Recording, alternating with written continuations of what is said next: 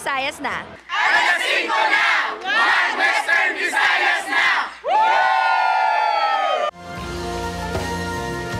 Patuloy na nagbibigay serbisyo.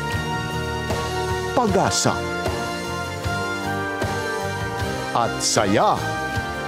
GMA Regional TV. Kapuso ng bawat Pilipino.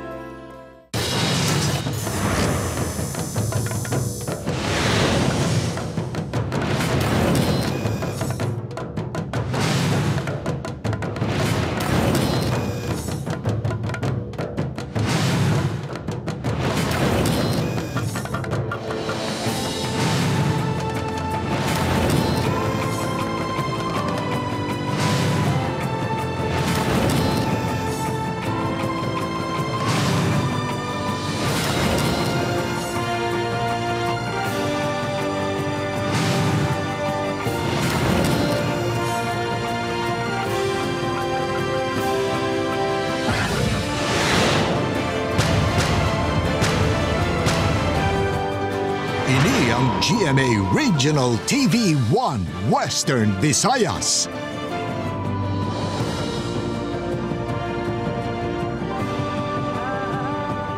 Mayong hapon ini ang One Western Visayas. Masaligan, sadsaran sang kamaturan kag wala sang ginadampikan.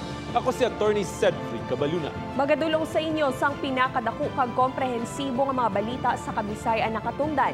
Caitlin Revilla, live sa GMA Broadcasting Complex sa siyudad sang Iloilo. Kag mga puso ako naman si Adrian Prietos, live sa GMA Bacolod Station. Mga balita nga tututukan sa One Western Visayas.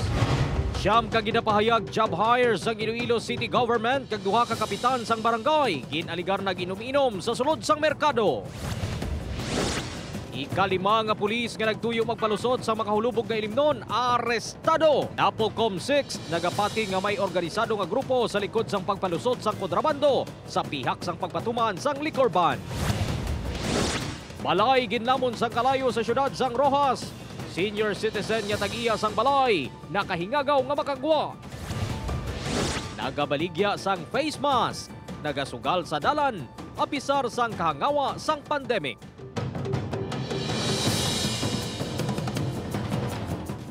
Onse ka mga lalaki lakip na ang duwa ka punong barangay sa syudad sang Iloilo ginaligar.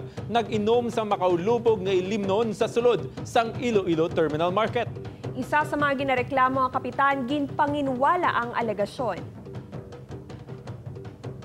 Iloilo City Mayor Jerry Treñas ginapaimbestigahan na ang insidente. Ining balita ang gitutukan ni Zen Kilantang live. Zen, Sad Kate Adrian ginpangsita sang kapulisan ang mga kalalakinhan sa sulod sa merkado matapos nga makabaton sang impormasyon nga nagainom ang mga ini sang makahulubog nga ilimnon. Nag-report sa kapulisan ng isa ka concerned citizen matapos makitaan nga may nagainom sa makahulubog nga ilimnon sa isa ka kapihan sa sulod sang Iloilo Terminal Market. Sa GCQ guidelines nga nakasaad sa Executive Order 75, ginadumilian ang pag-inom sang alcoholic drink sa pampubliko nga lugar.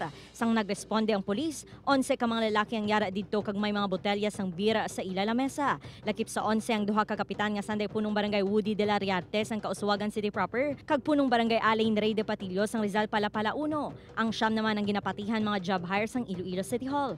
upon reaching dito sa may kiosk, no, nakita gid man nila na may group of people dito. No, makita man nila na may mga beer sa mga gilid, no.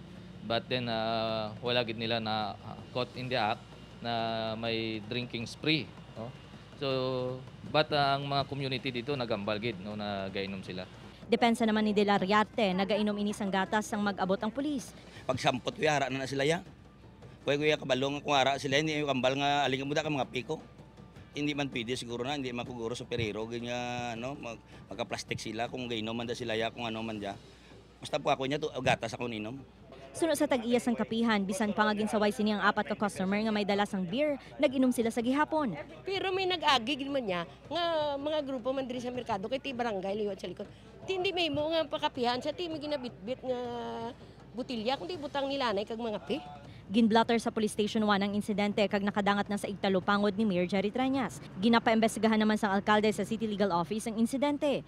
ang report na baton ko kay na sa aga, minpasa ko na ni sa titiligan para maimbestigar kag mahatagan ko sa report kag rekomendasyon. Sad gilay naman nga ginrelease sa mga pulis ang 11 ka mga lalaki matapos nga mapaathag sa ila ang General Community Quarantine Guidelines. Sad. Madam mga salamat, Zen Kilantang.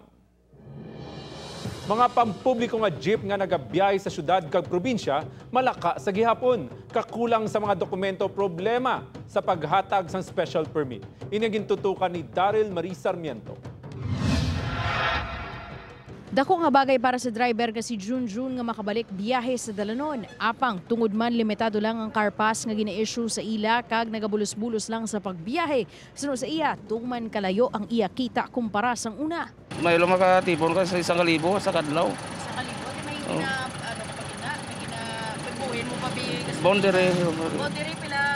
Ti ambal kay boss uh, tunga lang anay bondere kay kay tigado sugot manok kay mano. Sa syudad sang Iloilo talalupang doon nga malaka sa gihapon ang nagabiyahe nga jeep apisar suno sa LTFRB masobra isa kagatos naman ka special permits ang ilang nga na-issue. I was also going around the city. I, I did not seem to see in any of the jeepneys that uh, have applied.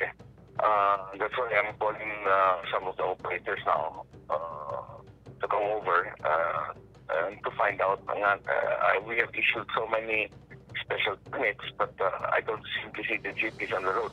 Suno sa Iklahoda, pila sa ilang mga jeep ang kinahanglan iparenew ang papeles, gani magamay pa lang ang ilan na proseso agud mahatagan sang permit nga makabiyahe. Kadiba nato nga mga unit, ah iparinyo pa mo na nga kagamay katama ang ah, nagpa nagpapasa diri tungod sa eventually expired, but Mm. gawa ng expired. Kaya iban diri nga sa mga tungkay na hindi membro sa isa ka co-op. Nagpasalig ang mga asosasyon sang jeep bisan pang LTFRB nga madugangan ang mga salakyan nga makabiyahe agud makaserbisyo sa mga sumalakay. Upod kay Hans Tisherto, Daryl Marie Sarmiento, One Western Visayas.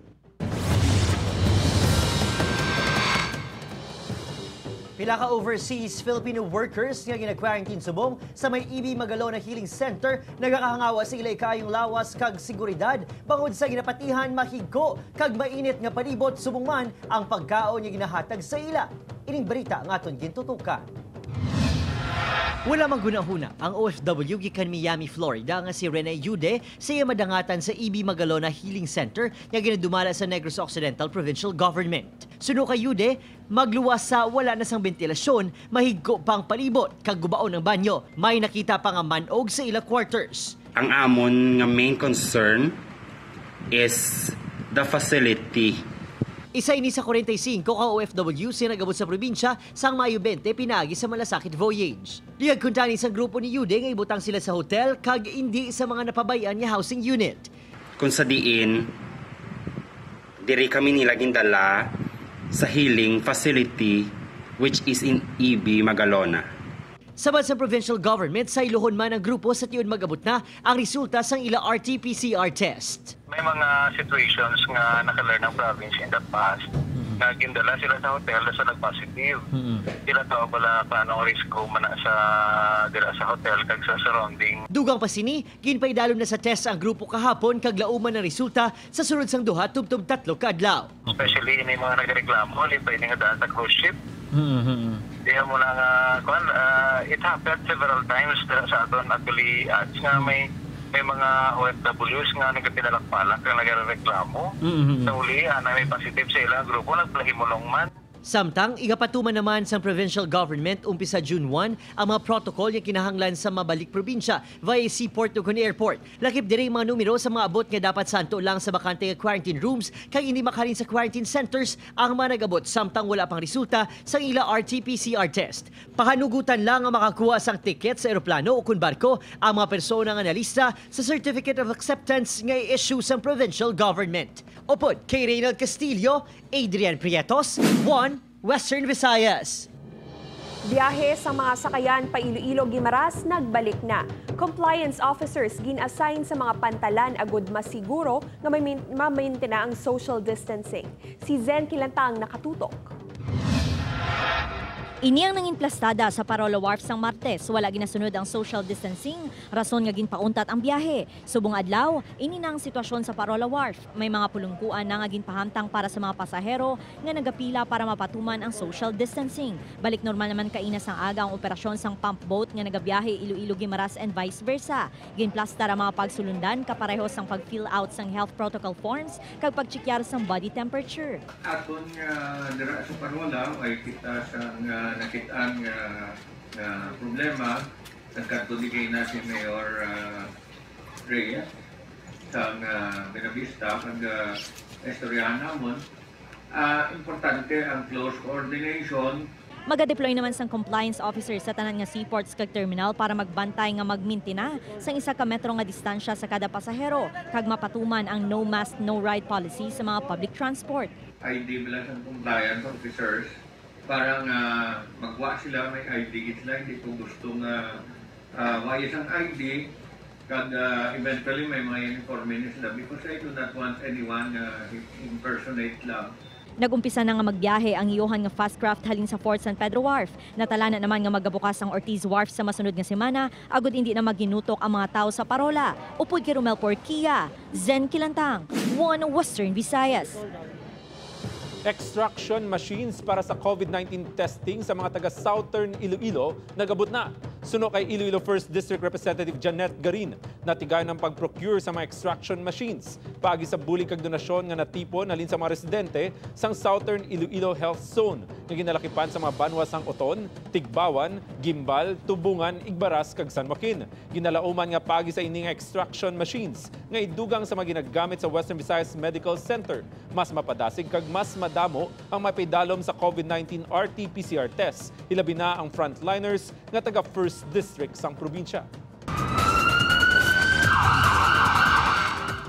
Lalaki nga ginapatihan nakadroga kag nagtugas ang gamo sa tubang sa isa ka call center sa may Bacolod City aksidente nga naigo sang bala sang ginbutong ang pusil sa isa ka pulis nga maaresto kun tani sa iya. Ining balita nga aton gintutuka. Pasado alas 3 ang gagahon sa nagluntad ang komisyon sa tubang sa isa ka call center sa Circumferential Road, Barangay Villamonte. Nag-responding personnel sa Police Station 4 nga sanday PSMS Roland Villaran kag patrolman Wilfredo Victoriano kag naaktuhan ang lalaki nga nagapanggamo nga kilala kay Jonas Antimo. Ginapahayag subag ni Antimo si Patrolman Victoriano kag intuyo man agawan ng service firearms ang pulis. Panumbag niya, sir. do parang do unexpected ba ng police na ba nga, siyempre, police ka na, authority, kung normal ang isip mo. So may walang walang assault doon. Talaga siya sir, talagang ano niya, ginassault yung tropa niya. Ginguba pa sa suspect ang duha ka side mirrors sa patrol car kag nagdalagan tubtob na kalabot sa Burgos Extension kung sa dinini na corners ng kapulisan. Gintuyo ni Antimo nga gawon ang pusil ni SMS Villaran. Nagbutungay ang mga initubtob naglupok ang armas kag naigo sa tuong nga paa si Antimo sa laki at saka yung sa katawan sa ano kumbaga matigas ang katawan eh talaga hard work eh so at saka siguro bangag possible bangag yung sir So hindi nakikinig sa pulis natin until such time naghahabulan pa kasi ang tropa din natin hindi maka-engage dito tali kasi ano din eh sa malakas siya. Padayon ini nga ginabulong sa ospital. Magapangatubang ini sang kaso nga direct assault of person in authority, physical injury kag malicious mischief. Magluwas pa sa bayulasyon sang EO 35 sa Bacolod, LGU. Upod kay Reynald Castillo, Adrian Prietos, 1 Western Visayas. Driver pilason sa makabunggo ang ginamaneo nga delivery truck sa 10-wheeler truck sa Haro. Si Daryl Marie Sarmiento nakatutok. Tuman ang pagaguntos ng driver nga ini nga naipit sa driver seat sang ginamaneho nga delivery truck. Pila man ka minuto nga ginbololigan sang rescue team sang Bureau of Fire Protection Pavia nga makuha ang driver nga ginkilala kay Regan Cadiz, residente sang San Rafael, Iloilo.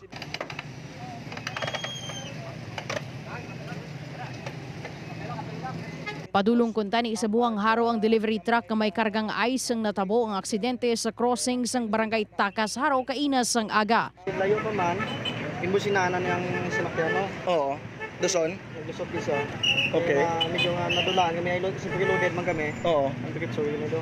Apang depensa sang driver sang 10-wheeler truck na si Romel Gargasitas nga tumandok sang Murcia Negros Occidental, hinali lang ini nga ginbungguan sang delivery truck. Sula ba tiya, ari ko tiya, crossing, ato pa to siya sa layo, sir ma? Eh, siyempre, crossing na, yung hinay ko yung tabok. Oo. Di, hinaya ko tabok. Tibot ko yung binungkuan niya malang kugulpe. Gilayon nga gindala sa ospital si Cadiz matapos makaangkon sang pilas sa nawala nga tiil. Upod kay Hans Desierto, Daryl Marie Sarmiento, One Western Visayas. Gintupok sang kalayo ang balay nga ginapanagiyahan sang isa ka senior citizen sa sitio na sagod Barangay Bolo, Rojas City. Nakita sa mga kaingod balay nga nagadabadaba na ang kalayo sa puloy-an ni Nelson Sario. Nakahingagaw gwa ang tigulang apang napilasan ini. Nagaisahanon lang ini sa balay sang magluntad ang sunog. Nadalahigban sa sunog ang kaiping nga balay nga ginapanagiyahan sang pamilya Cortel. Padayon ang investigasyon sang Rojas City Fire Station sa ginhalinan sang kalayo. Sa Cadiz City, probinsya sang Negros Occidental, isa ka senior citizen ginlabo patay sang iyam lang katupad balay. Ginbawian na sang kabuhi ang 61 anyos ni si Nenita Aguisando sang ginlabo sang sospekte si Joel Coros gamit ang isa ka espadeng. Naibuluan nga may hindi pag-insindihan ang duwa na tuhoy sa mahigko sang mga manok sang sospetsado nga nagahapon sa sangasang kahoy nga nagaluy-luy sa ugsaran sang biktima. Nagatubangay na ang duha sa barangay agud kun tani mahitsong problema. Apang suno sa mga nakasaksi, nagpahubog ang sospek kag nagpadulong sa balay sa biktima nga may bitbit nga espadeng. Patal nga pila sa tangkugo kag ulo ang gintunaan sa kamatayon sa biktima. Voluntaryo naman nga nagsungka sa Cadiz City Police ang sospetsado nga nagahinulsol sa ginhimo apang desidido nga magpasakas ang kaso nga murder ang pamilya sang napatay.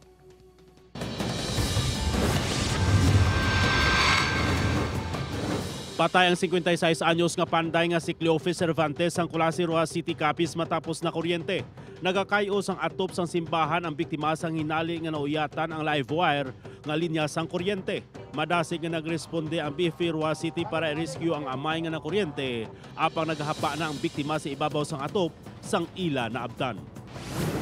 Arestado ang pito ka persona sa isla sang Boracay Malay Aklan matapos akto nga nadakpan nga nagapatigan sa illegal nga pagpangisda sa Angol Point Manok-Manok nagligad nga adlaw. Nadakpan ang pito samtang nagapatigayon sa Seaborne Patrol Operation ang Maritime Police Aklan kag Bantay Dagat. Ginlapas sa mga ini ang ordinansa sa Malay LGU na tuhoy sa pagpatigayon sa pagpangisda sa ila municipal water. Gin-impound man ang sakayan sa mga manugpangisda. Diri sa kilid sang baybay nagdiretso kang nagkulob ang pribado nga salakyan nga ini sa Coastal Road, Barangay Ermita, Dumangas, Iloilo. Sakay sa salakyan ang mag-utod nga Sanday Vienna Joy kag Epler Rose Villarmino sang Barangay Tabukan, Dumangas. Sa inisyal nga investigasyon sang Dumangas Police halin sa syudad sang Iloilo mag-utod. Mahimo na dulaan sang kontrol ang driver nga sa Vienna. Gani na bungguan ang railings kag nagdiretso sa kilid sang baybay. Maswerte nga wala sa maluba nga pilas ang duha apisar nga nagkulubgid ang ila salakyan.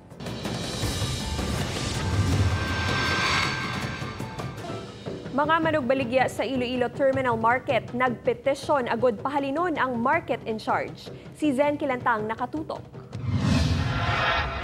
Mas sobra 300 ka mga market vendors ang nagpirma sa ginpatigan nga signature campaign sa mga manugbaligya bato kay Market in Charge Dolores Trabasas sang Iloilo Terminal Market. Sa ginpadala nga sulat, ginahinyo nila nga pahalinon sa pwesto si Trabasas bangod ginapasuni ginabuyayaw sini ang mga market vendors. Di ang pag-approach siya sa tao, masakit sa tao. Di usa wala naman do bastos bla do siya amal gani sa iba ni Mayo pag gani ang wala ng eskwelahan may panilalagan pa. Siya nga professional do bastos pa sa. Amo nang ambal ka tao di. Si Manang Eileen nagapabor nga islan si Trabasas bangod hindi na ini makaagwanta sang pagtratar sa ila.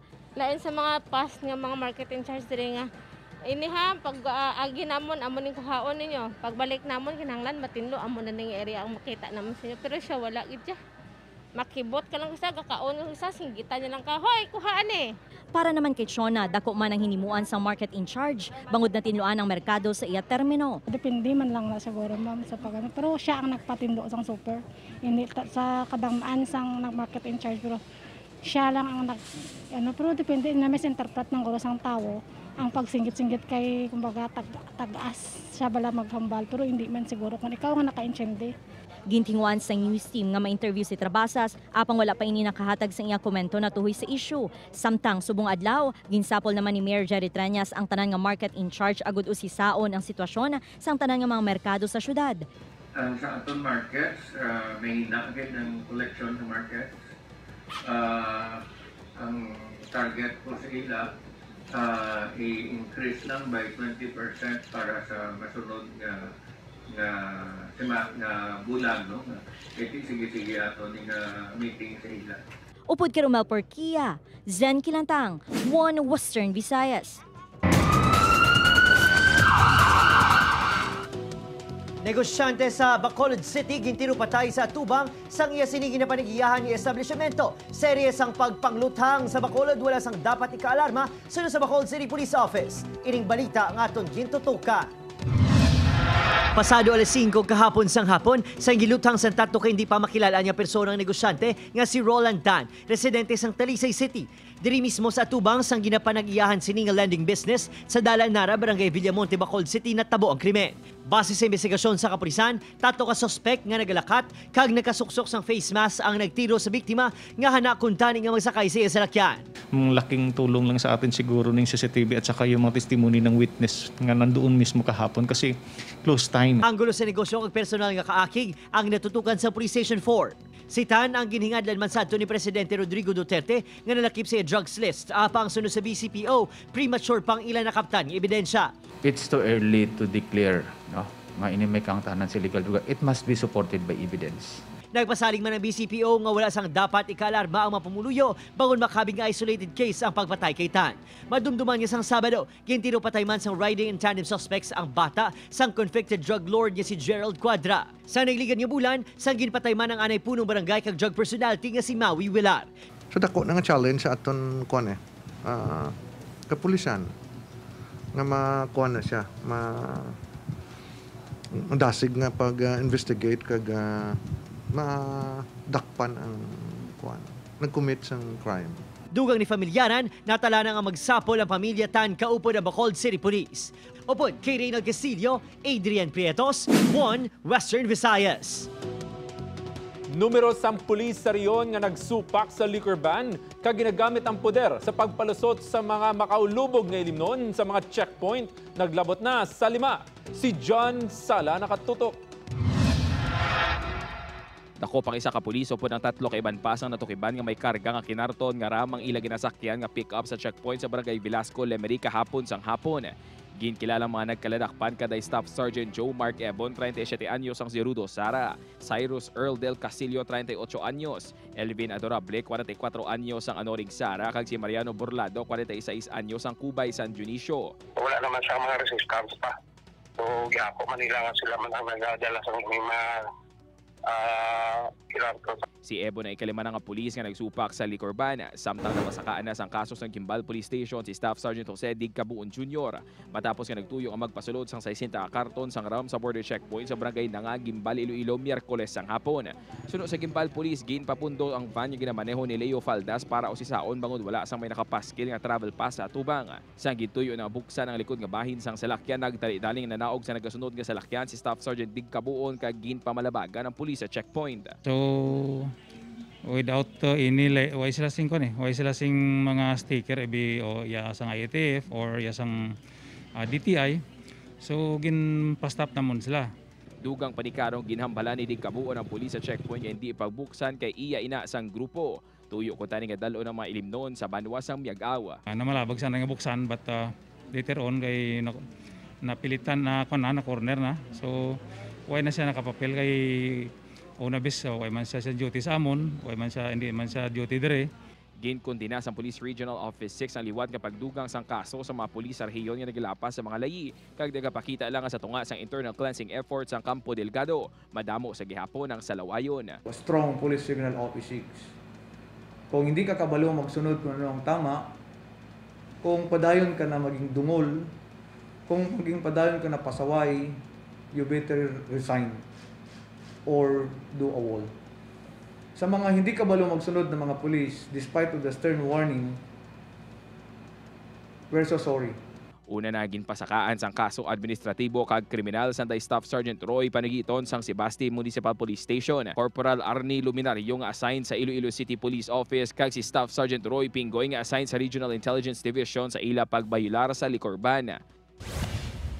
Samtang nadakpan sa IATF Provincial Border Control Point sa Barangay San Francisco, Anini, Antique, ang 43 anyos nga si Arlie David nga taga Barangay Balana, Kaniway, Iloilo. 21 ka karton sa makaulubong ilimno ng iya ginkarga sa iya Montero Sport nga salakyan nga nagtuyo kung tani nga dalon sa probinsya sa Antique apang nadakpan sa kapulisan. Yara sa kustodiya sang Anini Municipal Police Station ang 43 anyos nga sospek kag napasakaan na sang kaso. Sa subong semana, tatlo na ang nadakpan nga nagpalusot sa makahulupong nga ilimnon sa mga border checkpoints ang Iloilo. Gani ginaplano subong ni Iloilo Governor Arthur Defensor Jr. nga ibalik ang strikto nga pagpatuman sa boundary checkpoints sa probinsya. na isa pa na nga dapat may checkpoint kita kiti damo nagabakal kag naga-transport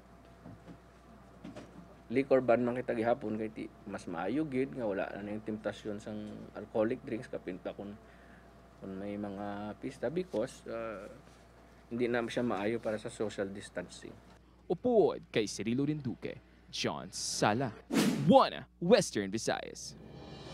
Sa kaangot nga balita, National Police Commission nagapati nga may organisado nga grupo nga nagapalusot sa makahulubog nga limnon. Apang Police Regional Office 6 ginampanginwala ang aligasyon. Nagabalik si John Sala. Bangod sa padayon nga nagasaka nga kaso sa mga pulis nga nagasupak sa liquor ban kag sa ilang nga modus nga magamit sang poder ilabi na sa pagpasulod sa mga checkpoint.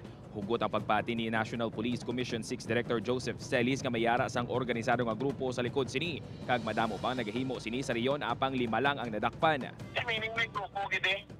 May grupo gid nga nag-exist. Kag ah, sa pattern sang number sang nakalatabo subong lima damo na na. Damo na na. Eh karon ang punto da nga hindi lang na lima. Damo na. Wala ka millions ng income da. Madumduman nga nagbuya sang statement si Staff Sergeant Jose Dig Jr. matapos nga nagtuyo ang magpasulod sang 60 ka karton sang RAM sa border checkpoint sa barangay Nanga, Gimbal, Iloilo nga hindi pagbuksan ang van kay iyayadto sang grupo. Bagay nga gin kadismaya sang PRO6 apang nagpanindugan nga wala sang organisado nga grupo sa ilahanay nga nagahimo sini. We're so sorry about that word. In fact, that is one of his style para lang siguro makumbins ang kapwa niya na pulis. Pasig na siling naton gun were the days. Pag siling na kapwa ka pulis, okay lang, no? We are not tolerating this kind of act. Uh, hindi lang ni gani subong ang nadakpan ba't may ara kita tatlo. And the same thing probably niyang ila ginaobra. Um, pagpatago sa isa ka uniforme, mag-obra sa malain, thinking na makalusot. Sa lima ka mga insidente, tatlo din ang ginaimbestigaran na sang Napolcom 6. Pasalig ni Celis nga gilayon ini ginaaksyonan sang ahensya ilabi na nga pagsupak ini sa sinumpaan sang mga kapulisan kay nagatuga sang pagkadula sang salig sang publiko sa imahin sa bugos nga organisasyon sang PNP. Hindi kami mag-tolerate sini nga mga wrongdoing sa public service. Especially nga pandemic, gid subong nga take advantage sila. They're exploiting the circumstances, no? Abusar sa pwesto, Upuod kay Cirilo Rinduque, John Sala. 1. Western Visayas. Tatlo ka mga ginapahayag residente sang Banate, Iloilo, nagtabok sa may Talisay City, Negros Occidental, sakay sa sakayan para magbakal lang sa makahulubog nga ilimnon. Ining balita ang aton gintutukan. Bangod nagabagtik na kuno ang puwak dala sang madugay nga tion nga wala nakatilaw sa makahulubog nga ilimnon nagtabok pa sa syudad sang Talisay ang tatlo ka mga residente sang Banate Iloilo. Lunes ang aga sang ginbalabagan sa mga opisyal sa barangay Katabla ang sakayan sang tatlo. Gindiretso ang maini sa City Health Office agud makuha ang temperatura. So ging pabalo nato ng aton nga eh, interagency task force. Kaso lang ti ang aton nga areas facilities naton kulang man kung kwaon pata naton sila kay damo pa nga mga OFW nga gapuli sa aton nga nga area. Nagapabili ng liquor ban sa Iloilo, butang nga sa Terisay kung saan pwede na makabakal sa makahulubog nga ilimnon, sila nagpadulong. Bangon sa natabo, ginmando hugot kapag bantay sa mga coastal barangay. So nga aton nga bantay dagat ging ging ano man nato gin task man ni sila. So ginbutangan ko na pulis para mag-lead sa ila anytime. Pero ang monitoring ara nakabase sa aton nga coastal barangays. Sa baylo kasuhan, ginpapauli na lang ang tatlo. Upod kay Reynald Castillo, Adrian Prietos, 1 Western Visayas. Sa latest DOH update, duwa ka bago nga kaso sang coronavirus disease ang na-record sa DOH-6 subong adlaw. Sa di naglabot na sa 107 ang total cases sa Western Visayas. Sa 313 ka laboratory results ang ginrelease subong adlaw. Duwa ang new positive, isa ang repeat positive, kag 310 ang negative. Ang bago nga confirmed case sa Musantay Western Visayas 106, taga Lapos Iloilo City naka-facility quarantine. Western Visayas 107, repatriated OFW nga taga Hordan, Gimaras. Naka-facility quarantine siya. Sa 107 cases, 73 ang naka-recover, kag pulo ang napatay. Sakripisyo sa mga manugbaligya sang face mask sa dalanon aton hibaloon. Negosyo hindi lang para sa kogalingon kundi nagahatag proteksyon para sa ila isig katawo. Yaring RTV presents ni John Sala.